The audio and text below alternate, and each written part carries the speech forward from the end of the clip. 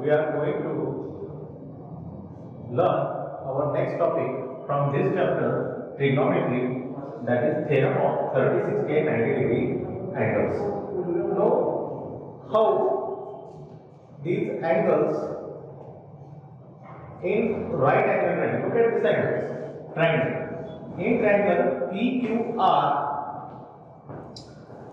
this angle is of 90 degree, this angle is of 30 degree, and this angle is of 60 degree.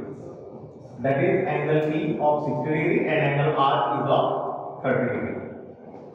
So if we take PQ as a A, side PQ as a A, then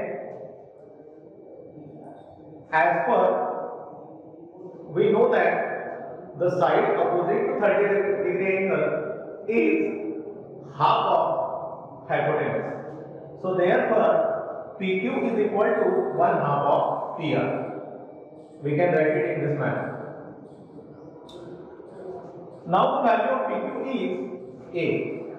So A is equal to 1 half of PR.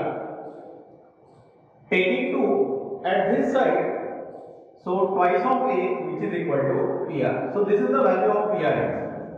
So we put it down here, the value of PRX twice of A. Now side QR which is opposite to the 60 degree angle.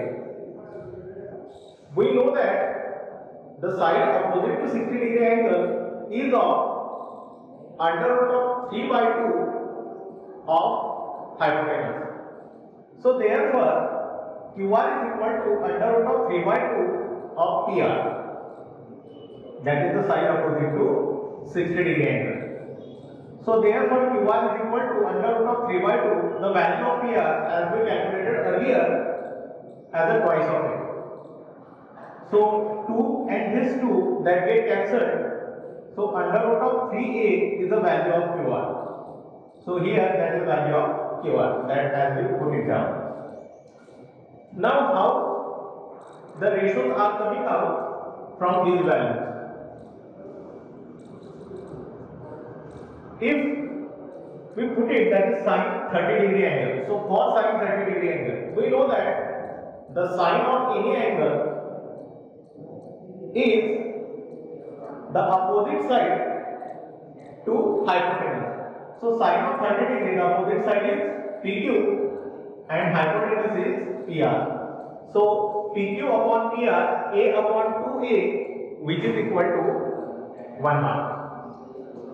In similar way, cos 30 degree, we know the cosine ratio is the adjacent side upon hypotenuse.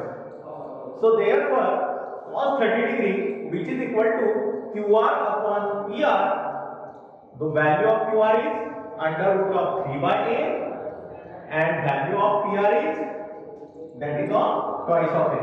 So when we put in this value, A, A that get cancelled and the value is under root of 3 by 2. In similar way, the value of tan 30 degree. Tan 30 degree, the ratio of tan is